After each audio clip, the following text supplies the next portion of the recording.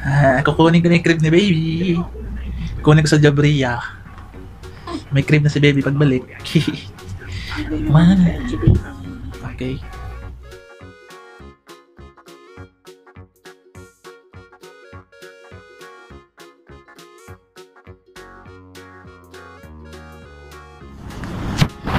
So, ayun. Abangan natin yung driver natin. So, punta kami ng Jabria. Susunduin namin yung... ah, hindi, ah, I mean, kukunin na namin yung crib. Nakipag-deal ako. So, nakuha ko yung crib ah, murang halaga, 15 KD. 15 KD is ang original price niya, 15 KD. And then, crib lang yun, only crib only. Pero may kasama na siyang mattress. So, kailangan natin magtipid ngayon. Kasi nga, hanggang ngayon, hindi pa rin normal. Kailangan natin yung pera, itipid natin. So, ito na. Ito na yata yung driver natin. Di, di ba pala? Mainit na. Yung driver natin. Double bed.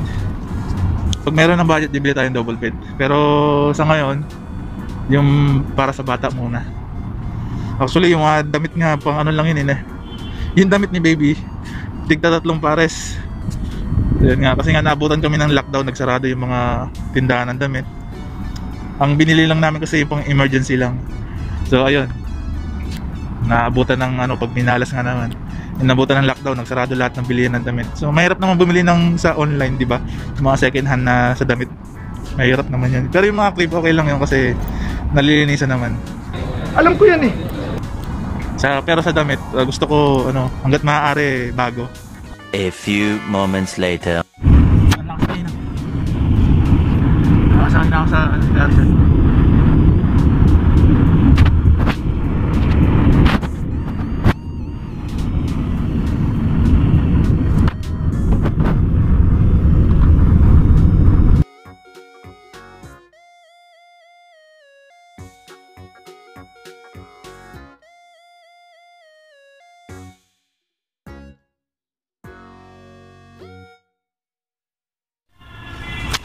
Anak ko na. Nakasakay na ako sa ano,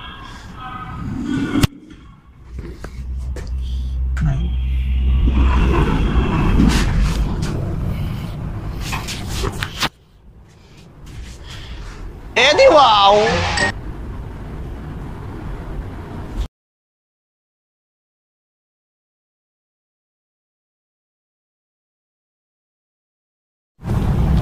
Nabili ko na.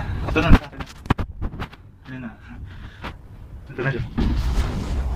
Madami din pala. Assemblein pa. One eternity later.